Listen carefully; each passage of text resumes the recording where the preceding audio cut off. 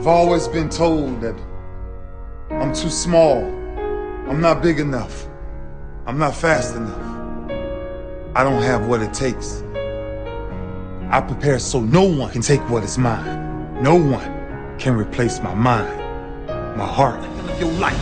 Will you be remembered? How would you be remembered? Why wouldn't you fight for the greatest achievement ever? Leave your mark to endure